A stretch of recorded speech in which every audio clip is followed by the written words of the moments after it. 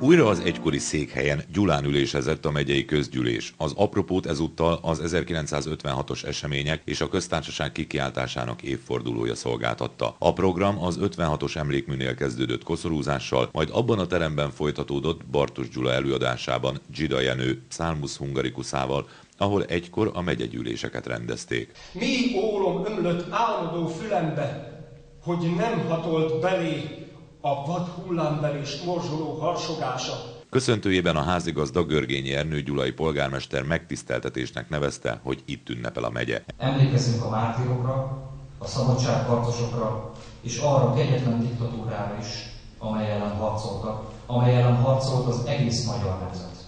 Emlékezzünk a hősökre, tisztelegjünk előttük. Emlékezzünk arra is, hogy milyen a diktatúra. Mert ha ezt nem tudjuk, hihetünk azoknak, akik ma, amikor jogállamiság és demokrácia van Magyarországon, diktatúrát kiáltanak. Nem zavarja őket, hogy álságos aggodalmaik eljutnak a közvéleményhez, hiszen tudják, hogy hazudnak. Emlékezzünk tehát a valós múltra, hogy ne azok uralják a jövőt, akik 56-ban vagy 2006-ban a sötét oldalon álltak, mondta Görgényi Ernő. Az ünnepség szónoka dr. Kovács József országgyűlési képviselő megyei kórházigazgató volt. Beszédében az 56-os eseményeket a ritka, sorsfordító pillanatok közé sorolta.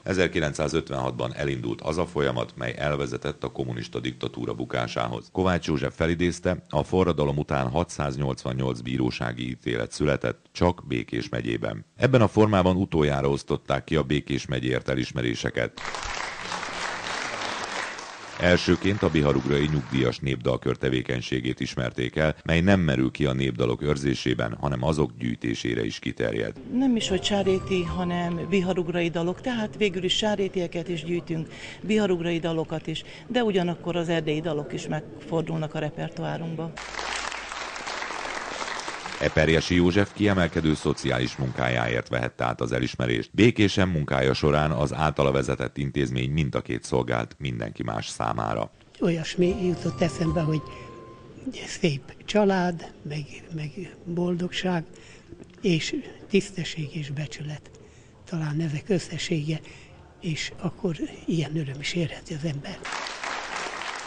Igazi főpásztora az egyházmegyének és a korábbi tendenciával ellentétben emelte ki Békés súlyát Csongrához képest. Békés Csabán társszékes egyház létesült. A Gyulai Grosics Akadémiával erősödött a helyi katolikus iskolahálózat, a kis településeken templomok épültek, emellett a műemlék és az egészségvédelem terén is sokat tett Békés megyért a Szeged-Csanádi Egyházmegye püspöke dr. Kistigó László, aki alfabetikus sorrendben harmadikként vehette át a díjat. Először azt hiszem, hogy tévedésről van szó, mert igazából ami elhangzott, az annak a közösségnek köszönhető, amelynek éppen, hogy vezetője vagy szolgája vagyok, és amely ezer év óta, 1030 óta folyamatosan jelen van Békés megyében is, és mai kifejezéssel élve próbálja az egész társadalmat, helyi társadalmat szolgálni a legkülönbözőbb területeken, a Szent István által alapított Szeged-Csanádi Egyházmegyére gondolok.